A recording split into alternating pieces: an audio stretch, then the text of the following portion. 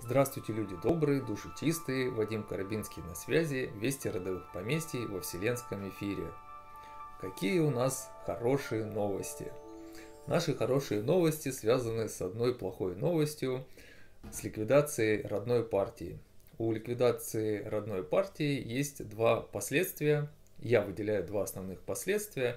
Первое это то, что мы переходим от формата политической партии к формату общественных организаций. Об этом подробнее чуть позже. И второе последствие это то, что появляются новые инициативы по созданию механизмов координации, управления, извещения вместо вот того механизма, который, который у нас был как родная партия.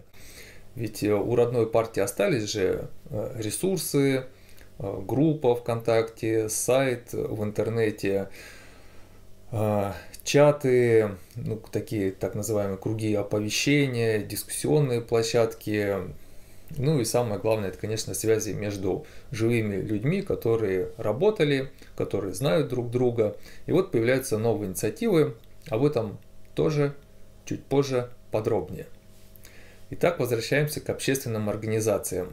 Это такой переход, он не на пустом месте появился, а исходя из того положительного опыта, который также накопился в нашем движении. Ведь кроме того, что 7 лет существовала а, родная партия политическая, также существовали и общественные организации. И, пожалуй, самый успешный опыт это в Башкирии, где общественная организация существует уже 10 лет. И интервью Александра Самохина с э, руководителем этой общественной организации на сай... в группе родной партии есть, и в группе «Родовые поместья России» тоже есть. Очень рекомендую, потому что опыт у них на самом деле хороший.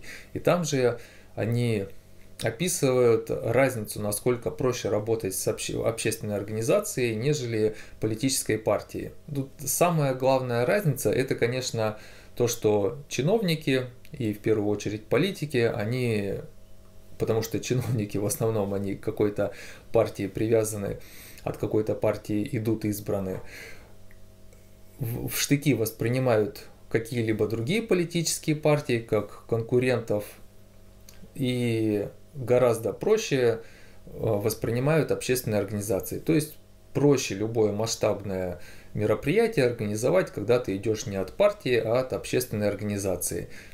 И также и люди, в общем-то, обычные люди, в том числе и участники этих мероприятий, а не организаторы, спонсоры и так далее, они тоже как бы, проще реагируют, когда взаимодействуют не с политической партией, а с общественной организацией. И простому человеку тоже проще воспринимать информацию не от политической партии, а от общественной организации. Тем более, если общественная организация называется «Родовые поместья». Потом также в СМИ проще пробиться. В общем, вот это все есть в интервью Александра Самохина и виноват забыл имя, но фамилия Чепушканов. А, вот. Также есть э, опыт общественных организаций в других регионах, но ну, намного меньше. В Крыму есть общественная организация, во Владимирской области есть общественная организация. И почему бы не появиться общественным организациям в каждом регионе?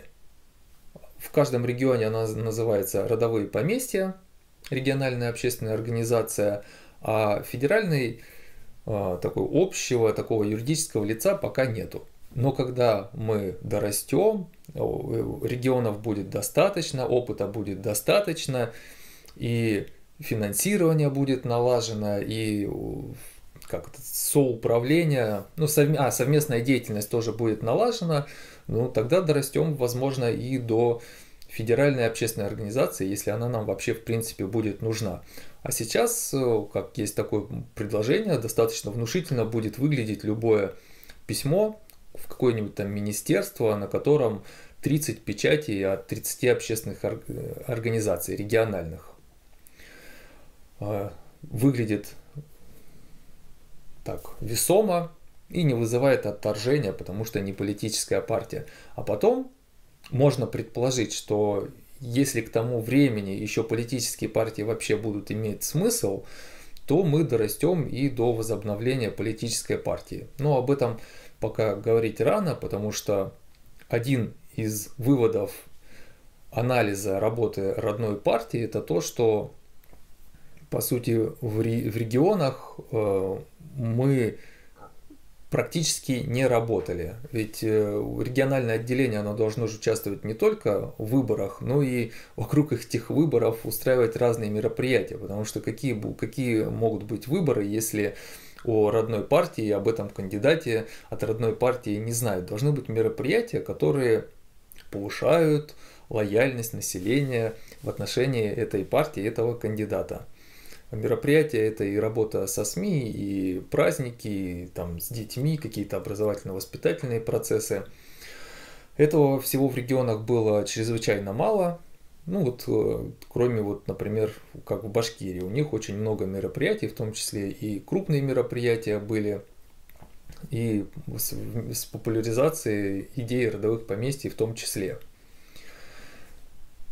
Мы переходим в этот формат, и сейчас вы, ваше поселение, ваше сообщество, ваш там, клуб э, читателей книг Владимира Мигре можете задуматься о создании общественной организации. Причем общественную организацию тоже не обязательно сразу регистрировать, можно значит, называть себя общественной организацией, не регистрируясь. Потом, когда коллектив дорастет и появятся такие задачи, что нужно как, ну, проще от юридического лица с кем-либо взаимодействовать, например, арендовать помещение, а, ну, в ДК, например, большое помещение. Тут уже понадобится какое-то юридическое лицо, оформление, счет, печать. Тогда можно будет оформлять. Сейчас движемся этим путем. Э, и все региональные отделения родной партии то, тоже могут сейчас двигаться таким образом. После того, как УНФ перестал с нами взаимодействовать, у нас каких-то таких дел с управленцами выше совместных-то и не было. Поэтому нам нужно снова дорасти до этого уровня, чтобы с нами а, государство, власть э, начала взаимодействовать. Увидела, что мы готовы к взаимодействию, потому что, напомню, одна из причин, почему ОНФ перестал взаимодействовать, это тот конфликт, который в нашем движении изобразился. Ну, вы о нем все знаете, поэтому не, не хочется даже повторять, хочется, чтобы поскорее это у нас э, ушло в прошлое со всеми конструктивными выводами. Теперь переходим по, по, ко второму последствию ликвидации родной партии, это появление новых инициатив. Существует чат, в котором состоят по одному представителю от каждого поселения. Сейчас там в чате 244 участника. Разных чатов в нашем движении уже были сотни, и все эти сотни чатов, они, ну, может быть, несколько э, единицы какие-то остались, там, где очень такое строгое модерирование, а сотни чатов просто заглохло, потому что всегда появляется 2, 3, 10 болтологов, которые забалтывают чат.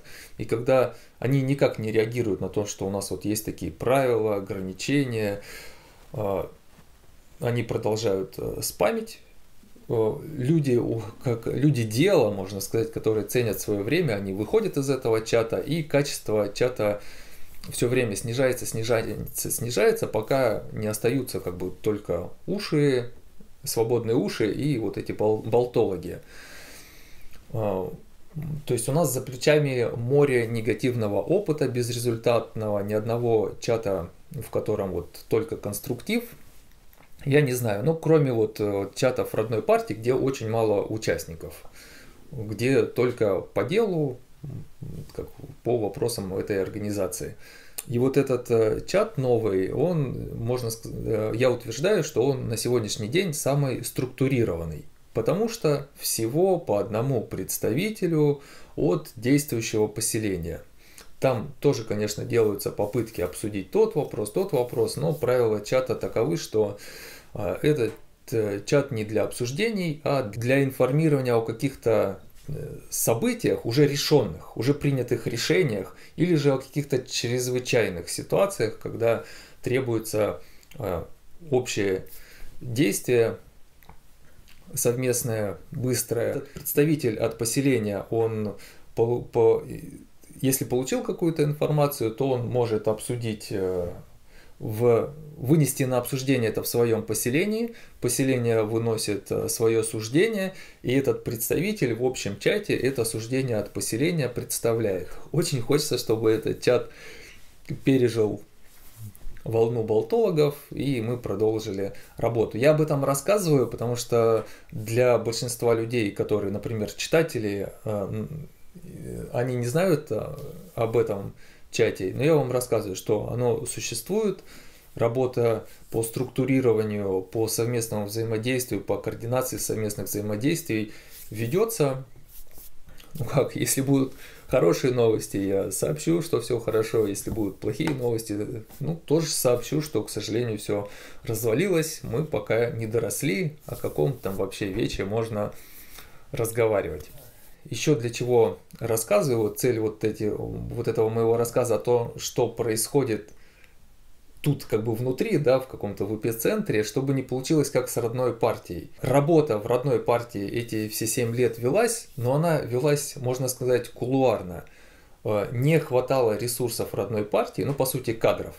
Кадров, компетентных кадров, которые могли бы для всех членов партии и также для всех сочувствующих родной партии и доносить информацию, что происходит, как мы движемся, там, какие проекты, какие направления, какой процент, какие у нас эти результаты, какой процент, или же какие у нас неудачи. То есть эта работа велась очень слабо, и вот это, можно сказать, одна из причин, почему, например, не было финансирования у родной партии, то есть не удалось договориться о членских взносах, как бы пробить этот вопрос, потому что не было доверия. Откуда доверие, если ничего не известно, что там внутри происходит?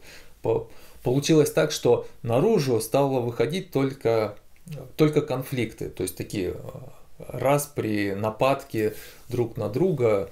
Вот они вовне вылились, а какой-то, как это называется, контр работы по развеиванию или по смягчению этих конфликтов или по информированию хотя бы о том, что конфликт закончился, такой работы не велось.